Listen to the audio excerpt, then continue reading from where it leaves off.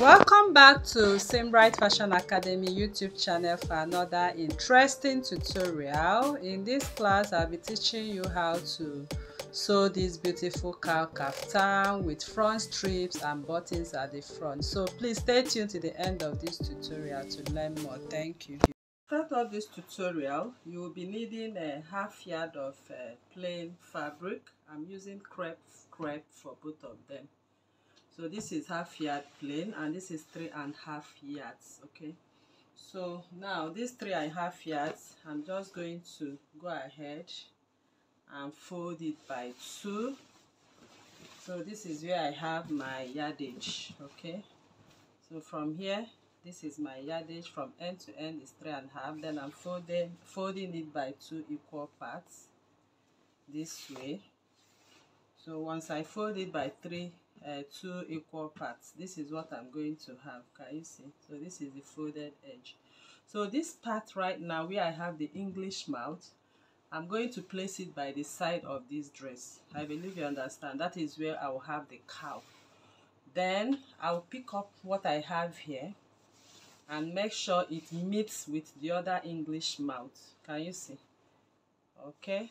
So i'll fold it again. So you can see how i folded it and I'm going to place the folded part right now. So this folded part now is going to serve as both my center front and my center back while the English mouth part is going to serve as the sleeve area okay? So remember this is three and a half. So you can see how I folded it. I believe it's not confusing. So you put the two English mouth together. After you have placed it on fold the first time. So this is it. So i'm going to start up my marking right on this folded edge okay? For the front and for the back. So now i've quietly and gently folded it and placed it very well because i'm working with crepe and it can wobble. So the next thing i'm going to do now I'm going to come down from here by one inch. So you can see my one inch. So I'll gently go ahead and do what? Rule my border line so I believe you are seeing my chalk line right here. So just follow my ruler line. So once you have gotten your border line the next thing we are going to do now is to place your tape on the border line and start taking your vertical measurement. So the first vertical measurement i'm going to take is my of course this is uh, this dress is um, a cow kaftan. So we don't even need our chest line we don't even need our uh, hip line. Sorry our waistline we don't even need our hip line and we'll just use the hip line as a guide to get the below the knee line before we curve the cow. So once you have gotten your border line simply place your tape. You can see where I place my tape on that border line and from there keep going keep going. The next mark you'll be needing will be your hip line so this is my hip line at 29 i'll add half an inch to it. But i'm not going to mark this line. I will step down from my hip line from there. I'll step down by my hip line is 29 i'll step down by one two three four. Okay? Then I'll add half an inch for seam allowance. So whatever your hip is, my hip is 20 now. Step down by one, two, three, four. Then I'll add half an inch on it. That is where I'll have my cowl curve so I'll go ahead and do what? And mark out this cowl curve this way. Can you see? I'll mark it out the cowl curve so that is the only line we need. So after this line that we need the next line will be the full length. So I'll just place my tape back from that 29 1 2 3 4 and half an inch i'm going to take the full measurement. So the full measurement it depends on your calculation. But for me i'm going to use what i have on this full tip this full tip iron part. That is going to serve as my full length. Okay so these are the necessary vertical measurements you need for this particular cowl cutting so after marking out the full length we'll go back to the uh, beginning to create the neck line. So the neckline for this dress i'm going to start marking them out accordingly. So note that what we have here is both center front and center back. But we are going to first cut out the uh, center back before we go ahead and cut the center front. So right here i'll place my tape at the center front center back and i'll mark 3.5 okay? So this is my 3.5 and I'll step down with my neckline by one inch. That is the back neckline curve. So I'll just connect it this way the normal neckline curve. I'll just connect it like this. All right so once I've connected the back neckline the next thing I'll do is to still place my tape at that center front center back I'm going to measure my shoulder. So the shoulder I'm working with is 17 inches. Divided by 2 will give me 17 uh, uh, 8 and a half. So I'll just mark the 8 and a half. So whatever your shoulder is divided by 2 place your tape just like I did on the center front to that point. So here I have 8 and a half. So my sleeve length I'm going to measure out my sleeve length at 17 from the shoulder. So I place my tape and I'm going to mark 17 so this fabric is actually wobbling. So you need to work gently on it. So 17 is my sleeve but I'll just add one inch okay? This one inch will make it 18 inches okay? So at that 18 inches I'm going to step down by 1.5 at that sleeve length I'll step down by 1.5 so this is my 1.5 and I'm going to come in with my ruler for the shoulder slant. Of course, you know how we go about the shoulder slant. So this shoulder slant, I'm not going to start here. I'll start from that 3.5 inch allowance. Okay. So I'll just go ahead and do what? And keep marking. So I will advise if you have um, a longer ruler. Okay. So you mark everything straight at that point so but I'll just try my best to make sure to ensure I mark it straight to that point. So this is the shoulder slant line. To that one and half I step down from the sleeve. So after that is done the next thing we'll start to cut now or to mark out is the shape. But before I do that note that this line we had here was the line I told you about that is going to be the hip step down by 3 inches which I mentioned earlier in the course of this tutorial. So I'm going to highlight the line. So here I'm going to take the measurement of my hip. So the hip measurement I'm actually working with here is 46 and 46 divided by 4 because I have this folded by 4 I have 11 and half. I will mark the 11 and half. I'll go ahead and add 3 inches to it. And then I'm going to add half an inch for sewing. Okay, so I like to use half an inch to sew my uh, cowl kaftan. Okay, I believe you understand what I say. So whatever your hip is, divide by 4. Place it on the center front on that hip below the hip line okay mine is 46 divided by 4 11 and a half. I added 3 inches and i added half an inch.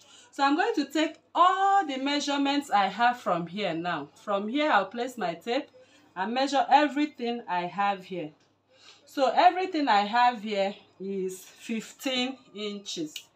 So that means i'll come down to the hem and i'm going to also mark on the hem line that's 15 inches. So I'll be able to connect with a straight line from that point. So here I'm going to place my uh, tape as you can see and I'm going to mark that 15 inches. So here is 15 inches mark. So I'm going to connect that point that hem point. I'll take that hem point from that point this way. I'll take it straight to that uh, below the hip line. Okay, I'll take it straight below the hip line. So you have to be careful of this. So I think this is the below the hip line. So please always work with a straight ruler so you don't, you know, you have your lines straight you have your lines very straight i believe you understand okay so you will connect from that point which i've done now from the hem because it's the same measurement to this measurement we take we took below the hip. So after that is done the next thing we'll do now is to do what? Have our cowl connection. So the cowl connection so i'm cutting through the calf uh, cowl part. So by the time i get to this cowl part i'll do what? Place a curve can you see how i curve it? I'll place a curve. Cut out to the hem line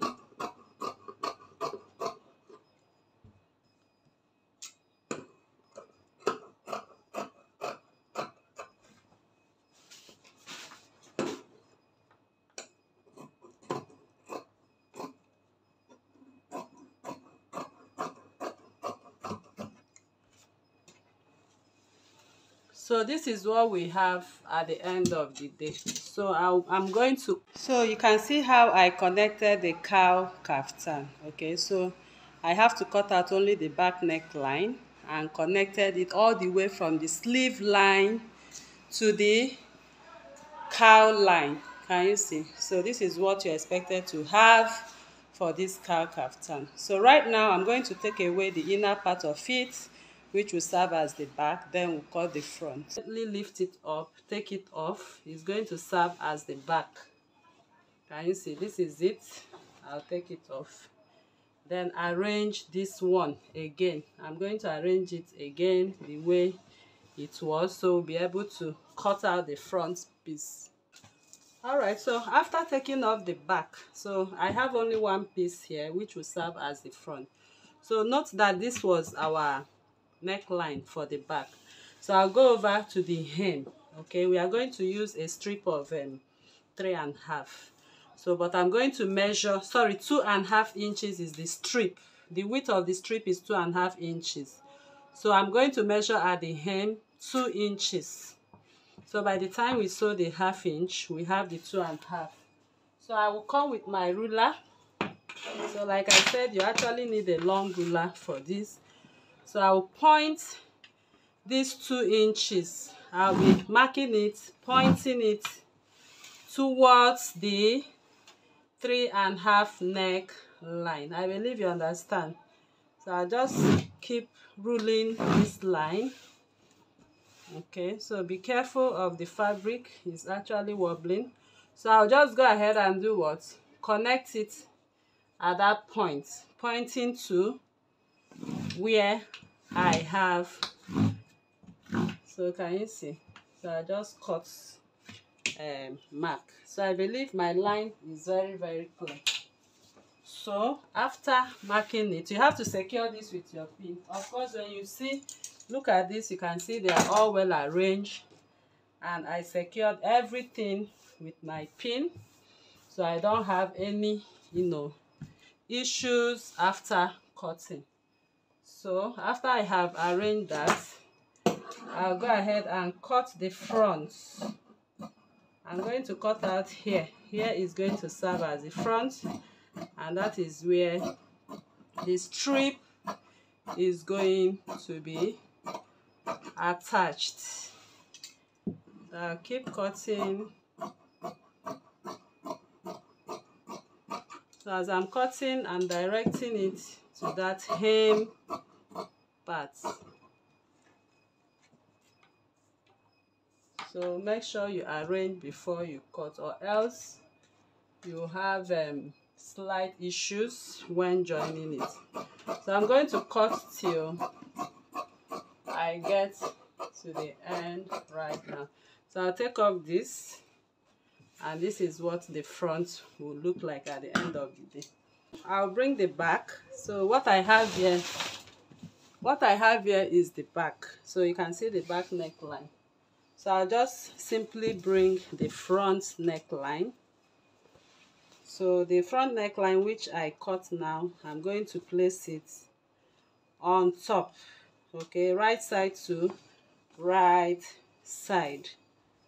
So i'm just taking off the pins i have here. So can you see? So i'll come with the right side of this and i'm going to place it you remember this was the front? I'll place it here secure with my pin. As you can see.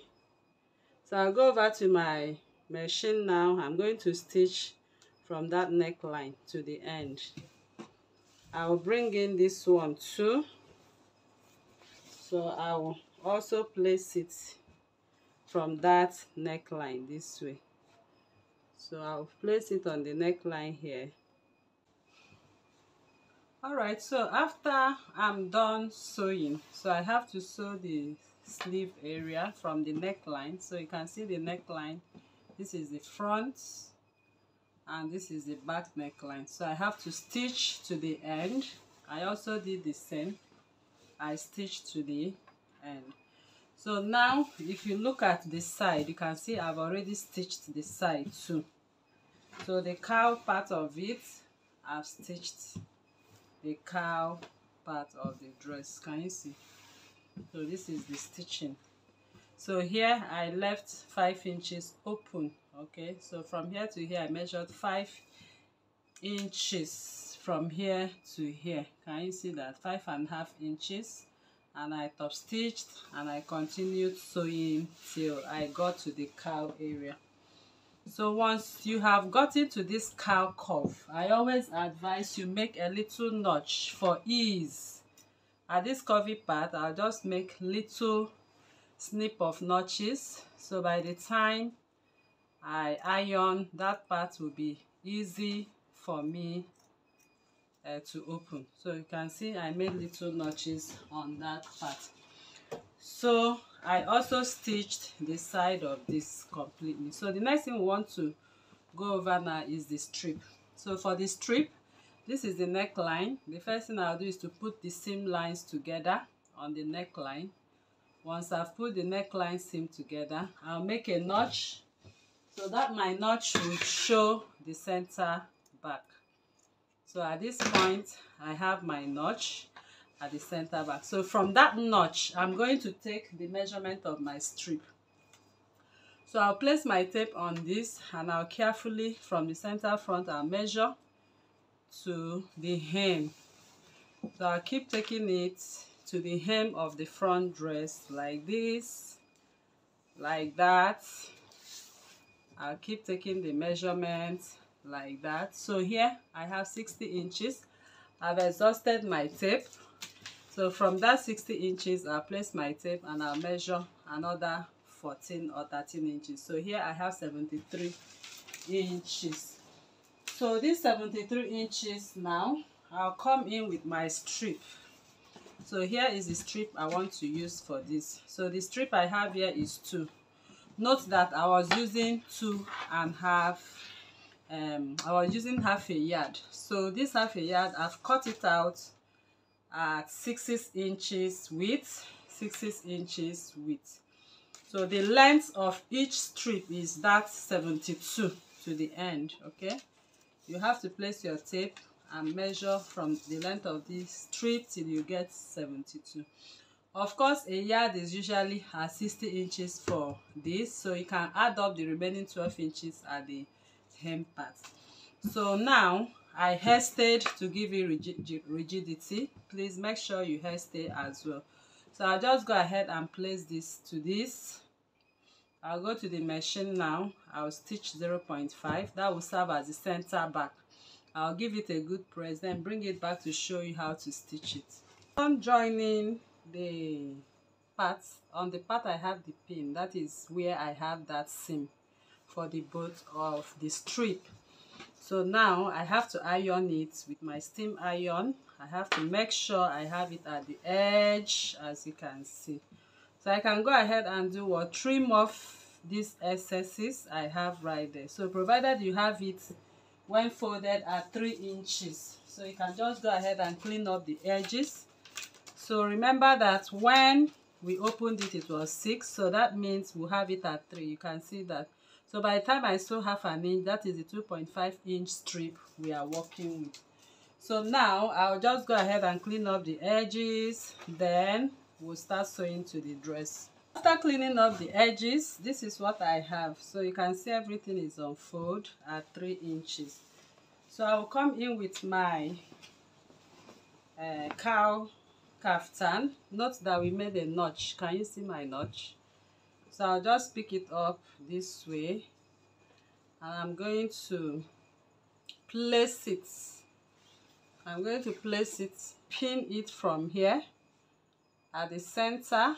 So I'll just secure it. That part will be the center back. So now I'm going to my machine. I'm going to sew at 0.5 so as I'm sewing I'll start from the center front. I'll sew to the end. I'll also start from this center front I'll sew to the end. So let me right so now I'm done joining it. So you can see I've joined the from the center back. I joined to the end and I joined to the end. So this is what the inside looks like. Can you see that? So I'll just go over to my weaving machine now and I'm going to weave round.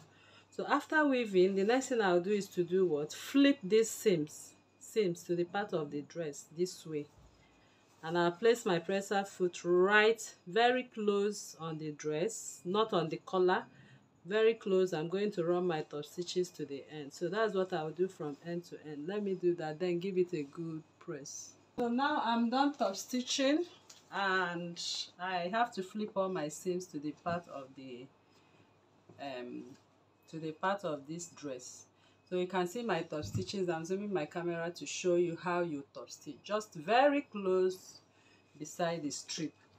So after that the next thing we will do is to arrange the shoulders. Okay and take the measurement of where we are going to close up. So here i've arranged one side of the shoulder. I'll place my tape right there and i'm going to measure nine inches. Can you see? So from here i have nine inches. And at this nine inches i'm going to trace it to the front. Okay so once i trace it i mark. I'll also come over here. Make sure you arrange the shoulders or else it will not be equal at that point. So i'll just hold it down this way this way so i'll place my tape at the shoulder. So from here I'll measure another 9 inches and I'll trace the 9 inches. So this is it. I've traced it. So after I'm done doing that the next thing I'll do is to bring this one and overlap it to this one at that 9 inches. So you can see how I overlapped. I overlapped at a pinch just a pinch okay? Don't go in too much. And make sure your 9 inches on both sides are matching up. So can you see? So by the time I go and top stitch at a pinch from here to the end here you can see what we have on the neckline. So all of this is going to sit on our neckline. So I'll go to my machine now. I'm going to take it the top stitching to the end okay so once I get to the end I'll also leave a slit at the end.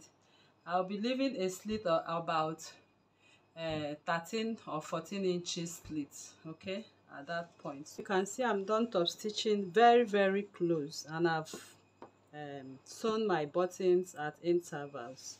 So this is what the upper piece looks like I have to insert my button and here you can see I have my slit to the hem. So that is how we come to the end of this tutorial. And I believe this class was helpful to you. If you are new to this channel please kindly subscribe turn on your notification bell to receive videos like this every day.